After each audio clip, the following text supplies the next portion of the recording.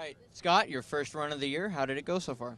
Yeah, pretty good. You know, it's uh, it's only qualifying, so you know uh, the main goal for us was just to try and start near the front of the grid, and and uh, I think we'll be pretty close. Um, you know, Dan's going to be extremely quick, and maybe a uh, a guy that might knock us off for the pole, but hopefully we can stick there. But uh, you know, front row, front two rows would be great for us. So the the start so far has been pretty good.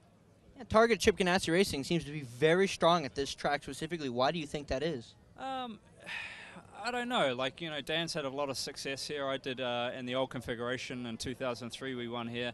Um, 04 and 05, we just really didn't have a chance with, with our you know with our package.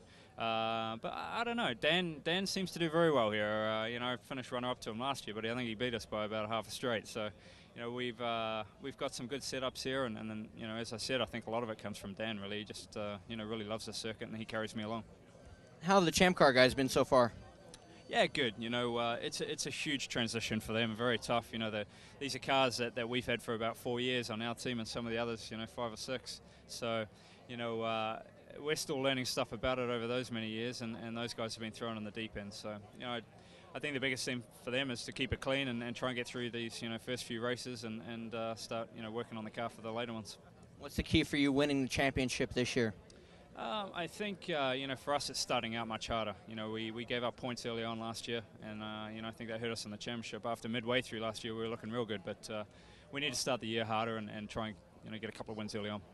Thank you very much. Good luck this year. Cheers. Thanks, man. Thanks, man. Thanks.